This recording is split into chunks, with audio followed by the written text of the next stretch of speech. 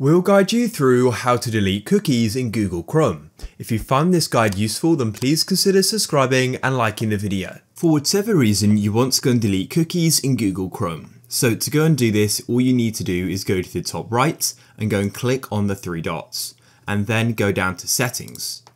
Next, you need to go over to the left onto this side menu and click on privacy and security.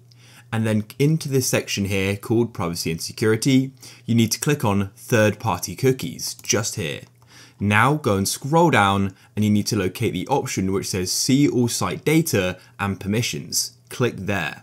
You'll then go and see a list of all of the different cookies which are stored. As you can see here, I've got 9.6 gigabytes.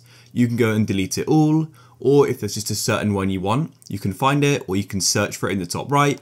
You can then come over to the right and click on this trash icon. So click there and you'll then need to go and confirm your decision. You're deleting all site data and permissions for this site here. So I'll press delete and it's now been deleted. It's that simple.